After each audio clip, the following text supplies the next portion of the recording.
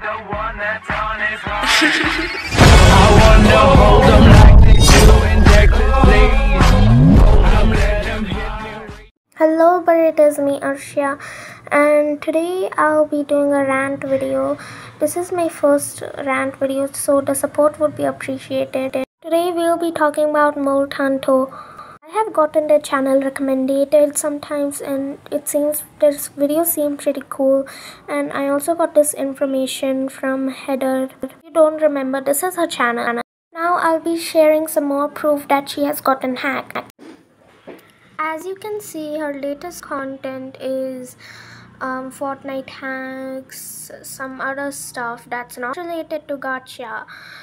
And mm, as we scroll down, her last Gacha video was about Marinette and Adrien, which was around three weeks ago.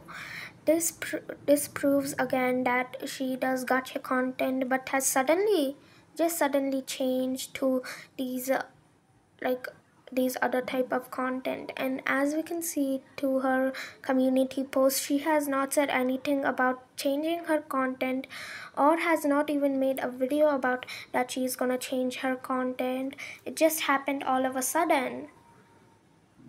Well that's all the proof i can get. If you have any information of MulanTan, please share in the comments. Um, that's all for today, and I hope you guys enjoyed the video. And yeah, bye everyone.